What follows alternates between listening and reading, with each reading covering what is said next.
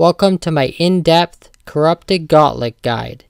In this guide, I will cover the fastest and most consistent methods for preparing and completing the Corrupted Gauntlet. On your screen are some skip points, starting with the gauntlet location, gear setup and boss max hits, tips, tricks, and strategies for consistent preparation and boss kills, loot from 100 normal and 25 corrupted gauntlets, and finally the faster advanced method. On your screen are the minimum recommended stats for completing the corrupted gauntlet. It's completable without, though I recommend having at least 74 prayer for piety and rigor. There are two good options for getting there Either pay 50k coins to move your house directly to Prifddinas, or a fishing trawler minigame teleport and pay 2k coins to charter there and follow the red path to the gauntlet. The Corrupted Gauntlet is a harder version of the normal gauntlet where you start off with nothing and have 7.5 minutes to make armor, weapons, and food before being teleported to the boss. The boss has a thousand health and uses protection prayers, so you will need some good damage and at least two attack styles.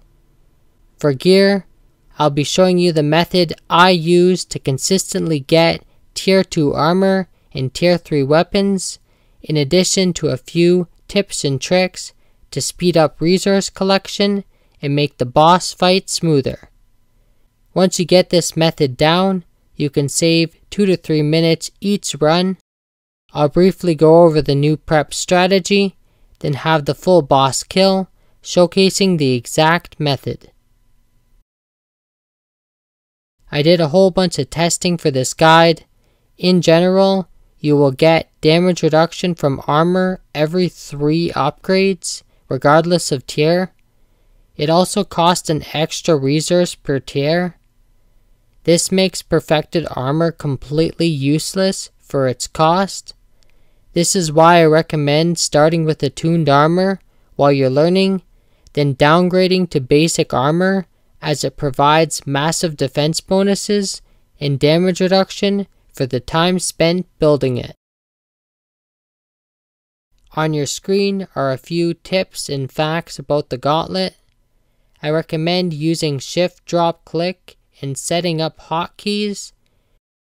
You can also save some time by luring and attacking monsters while you're walking and collecting resources, filling vials at fishing pools, and walking towards your next room while fishing.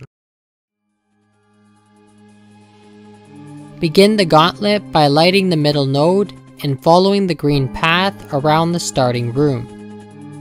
Your first mission is to collect one weapon frame and at least 90 to 100 shards. Fill the rest of your inventory with a maximum of 9 bark or tirinum and no more than 4 paddlefish. I always check but not enter the top rooms marked with a blue X on the map for bears, dark beasts, or a dragon as I'm right next to it and it can save me some time scouting later in the dungeon. At this point, if I'm missing either a weapon frame or I don't have at least 12 resources, I will check the side room.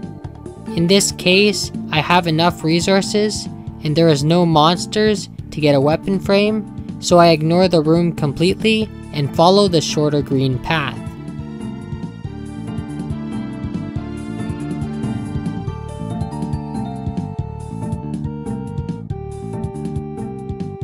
Although it is very rare, I've had gauntlet runs where I do not see a single monster until the 6th room. As long as you have a solid amount of resources and can find at least 3 tier 1 or 1 tier 2 creature, you should be fine. Otherwise, I recommend restarting the dungeon.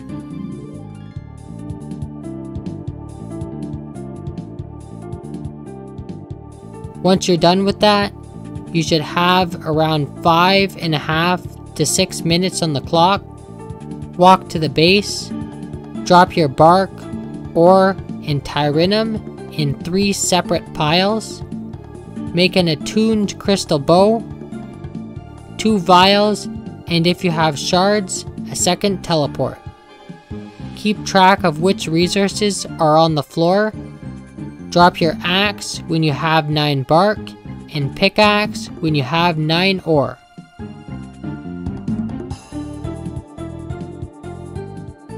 Follow the red path through the middle door, checking the red highlighted areas and collecting any remaining ore, bark, and tirinum that you need to reach 9 of each resource.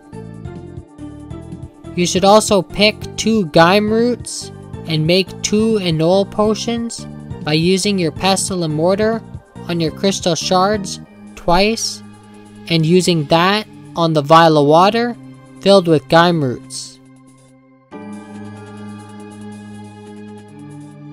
Kill one corrupt dark beast for its corrupt bowstring and either a corrupt dragon or bear for a corrupted orb or spike if you see any. Also pick up a second weapon frame if it drops and fill the rest of your inventory with paddlefish. You should aim to have at least 200 shards, 2 Egniol potions or Grym roots, 5 paddlefish, and 9 ore, bark, and tirinum by the end of the red path. You might have to kill a unicorn, wolf, or scorpion to ensure you reach this number of shards.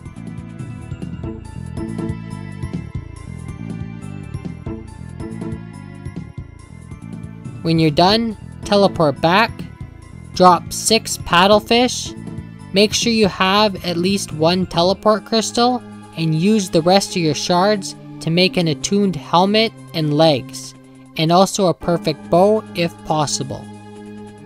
Also make the plate body if you have extra shards, and drop your remaining bark, ore, and tirinum on the floor. You should now have between 2.5 to 4 minutes left on the clock.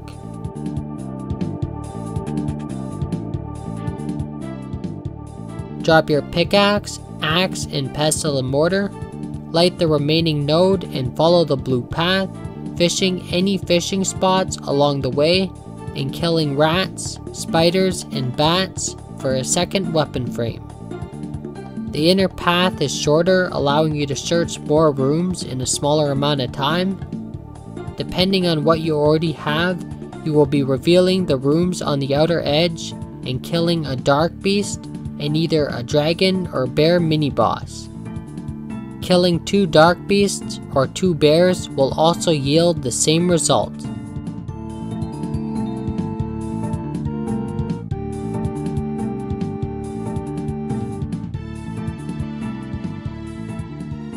When you have a weapon frame, bowstring, an orb or spike drop, and a full inventory of paddlefish, teleport back. You must have at least a second weapon frame and be back at the base within 1 minute to 50 seconds on the clock.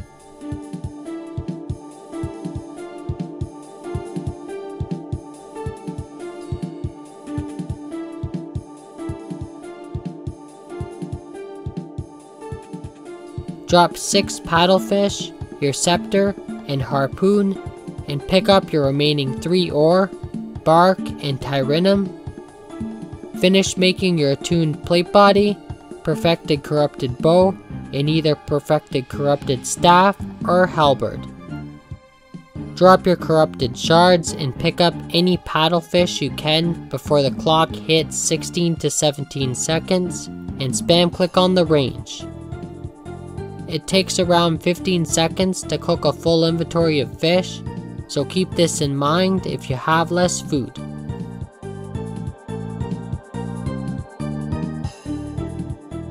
If you're using the advanced method, the run will look a little bit different. The time it takes to complete a dungeon will largely be decided by how fast you find the Dark Beast, so this will be our priority. Follow the green path picking up a weapon frame, 100 shards, 2 Grym leaves, 3 bark, or in Tirinum. Fill the rest of your inventory with paddlefish and reveal every room along the way. Your inventory should look similar to mine. Make an attuned corrupted bow, two vials, dropping the other resources at the base. If you saw a dark beast, dragon, or bear mini boss, head directly to that room, kill it, and follow the path corresponding to the room you found the mini boss in. Your goal is to get a second weapon frame, bowstring, and 200 shards. Depending on what you see first, you should kill the mini bosses in the order shown on screen. When you finish everything, your inventory will look like this. Now we can get into the boss mechanics. Before you enter, you should turn on in-game sounds to count the attacks. I also provided a link to a 12 second beep timer in the description. Turn on protect range and enter the boss room. His first attack will always be ranged. He will then switch from ranged to mage, back to ranged every fourth attack in a pattern. Every sixth attack, his prayer will switch and your character will stop moving. If you're not paying attention, this is a good indication that you need to switch weapons. The boss has four attacks, his first attack is a standard attack. The range attack looks like a gray oval, and the mage attack looks like a red ball. Every time the boss uses magic, there is a chance that it uses a prayer disabling attack. This attack is pink instead of red and also has a different game sound. If you're standing underneath the boss when he's about to attack, he will stomp the ground, dealing trample damage. This is the only attack that does not count as one of his four attacks before he switches prayer. It is also not blocked by protect from melee. Occasionally, the boss will stomp the ground, emitting crystal-like tornadoes. This attack follows a linear path towards your character, dealing massive damage every 0.6 seconds. This can be awkward for melee weapons when combined with some tile patterns, as you will have to walk around the tiles to avoid getting hit. I recommend eating at this time or when you switch weapons, since there is a few seconds of lost damage. It will also give you some time to turn on your offensive prayers for some extra damage. The highlighted floors are completely safe when they are red but when they turn orange, you will start to take heavy damage. This damage is reduced by armor and does roughly the same amount of damage every 0.6 seconds as a single tornado. When attacking while near tornadoes, you should maintain two squares of distance to avoid getting hit after an attack. If you're using the advanced method, you will have to keep track of both your own and the boss's attacks.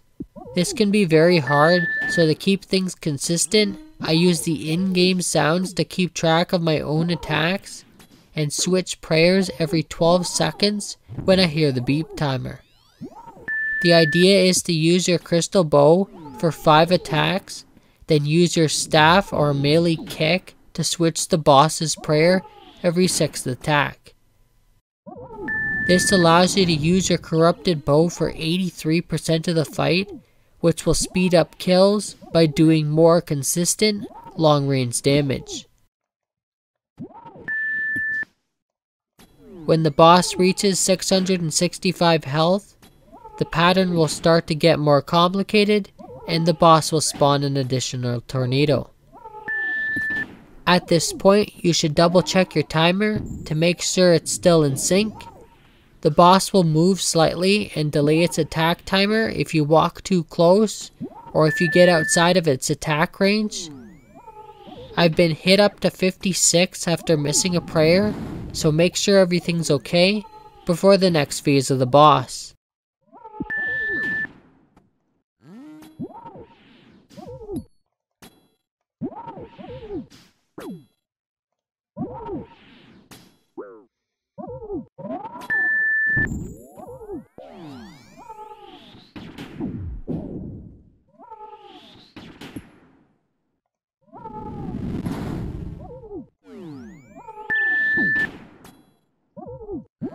At around 332 health, you'll have to be very careful where and how you walk to avoid floor and tornado damage.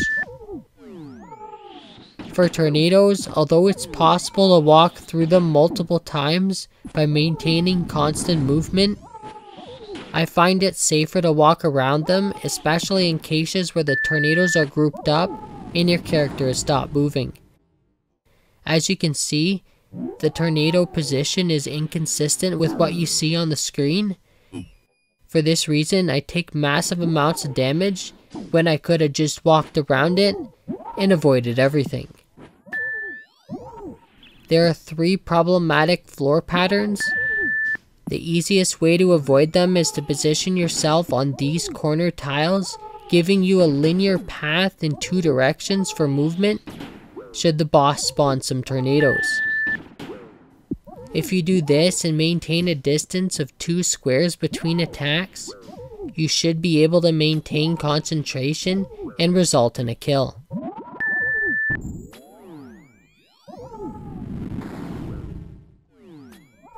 Once the boss is dead, you can open the chest and collect your reward.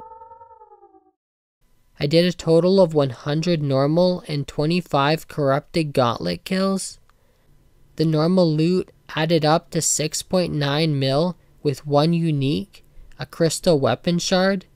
The hard kills added up to 3.9 mil with no uniques. The loot was not that great, but it does have quite a few alchables, including several useful rune and adamant items for emote clues, so this could be useful for Iron Man. Thank you guys for watching my guide. I hope you guys enjoyed. Leave a like or subscribe if you did. And of course, have a wonderful day.